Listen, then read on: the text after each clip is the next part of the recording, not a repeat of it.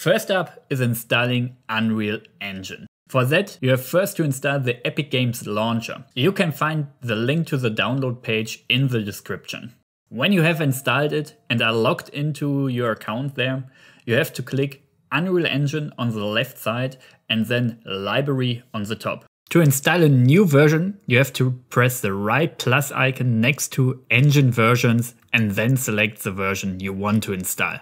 I will be using 5.3 for the first tutorial project, but when 5.4 is released, I will probably switch to that for future tutorials. So now the step is done and you have installed Unreal Engine, already a step into the right direction, but one other important thing is still missing. Obviously, you also need a code editor for changing your C++ files. For that, you can use Visual Studio. From Unreal Engine 5.4 on, Visual Studio 2022 will be required. And you can find the download link in the description as well. The download link is for the community edition of Visual Studio because that one is for free and we like free stuff. During the installation of Visual Studio, there are a few things to consider and make sure of that you have ticked, because otherwise Unreal Engine will be mad at you. The modules you should activate for the installations are .NET Desktop Development, Desktop Development with C++, Universal Windows Platform Development, and the Game Development with C++ module. Important for the game development with C++ module is that you also have to tick the Unreal Engine installer option. If you have selected all those modules and options, then you can press install and enjoy a small break.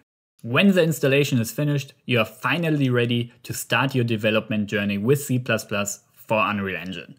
But obviously, let's check out if everything is working. For that, start Unreal Engine and go to the Games tab on the left and select Blank Project. Activate C++, give the project a cool name and create it. If everything is working correctly, the project should open without issues. If you encounter any error at this stage, please let me know in the comments and I will try to help you out fixing it. Lastly, there's one recommendation I can give to you, namely to check out Rider. And no, this is not a product placement. Rider is another code editor you could use for developing your games in Unreal Engine. In my personal opinion, it's better suited for developing stuff in Unreal Engine than Visual Studio, and it will make your life easier down the line. And in future tutorials, I will be using Rider, so if you want to have the 100% follow along experience, then you should check out Rider. But after you have installed Unreal Engine and a code editor you want to use for your programming journey, you are now ready to start it. And we will do so in future tutorials. So, see you then.